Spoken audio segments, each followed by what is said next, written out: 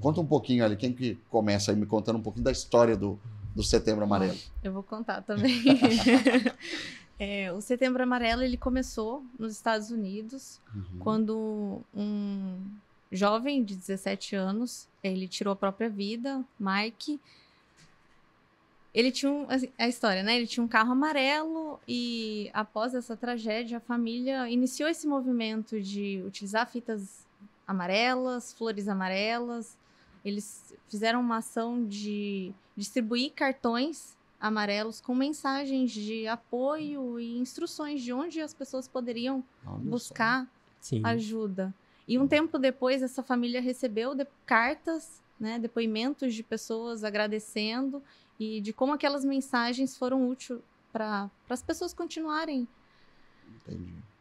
vivendo, hum, né? Sim. né? A gente tem passado por tantas coisas. Né? A pandemia acho que foi uma prova de, de fogo hum. aí, né? Você, você que lidou ali direto com gente na linha de frente, viu tanta coisa acontecendo tão rápido, alguma coisa até fora da mão da medicina uhum. em determinado momento. Como é que você avalia esse, isso, como é que a gente trata? É, é uma doença mental, a gente chama assim? Como é o termo correto para abordar esse tipo de, de situação?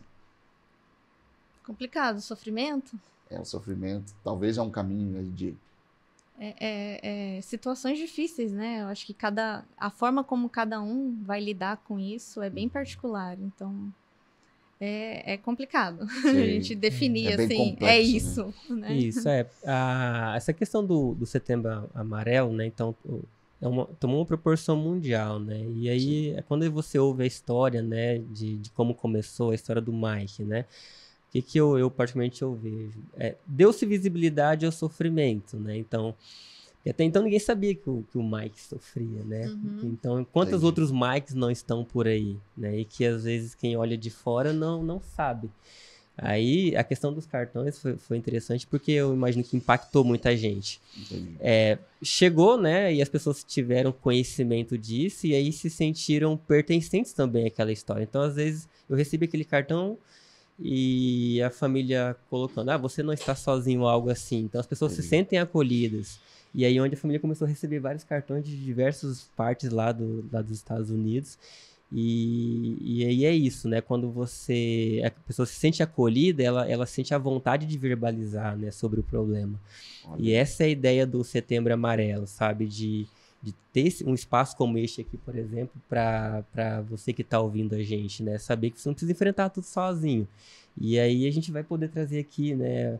onde buscar, com quem buscar, né? Então são informações assim que eu considero muito importantes. Né? O que eu achei interessante dessa história também é como algumas pessoas, né, conseguem propor ações, ajudar outras pessoas em situações tão difíceis como a família, os amigos. E, enfim, essa, é, essa, é, é, essa tragédia foi em 94, Nossa. veio para o Brasil, é, quem trouxe foi o Centro de Valorização da Vida, o CVV, Olha só. Isso. Ele é, é uma autarquia do Ministério, alguma coisa relacionada ao poder público ou não? Eu, CVV? Eu não é não, ele, ele não, não né? é, ele não é linkado a, a uma questão governamental, não. Né? É, um, é, um, é um movimento que, que trouxe né, do espelho dos Estados Unidos e ganhou uma força muito grande, né? Entendi. E aí, sem dúvida, ganhou o apoio né, de setores públicos, né? O Conselho Federal é, de medicina, né, sociedade várias é, e várias outras, né? inclusive o Conselho Federal da, da, da Psicologia. Olha só.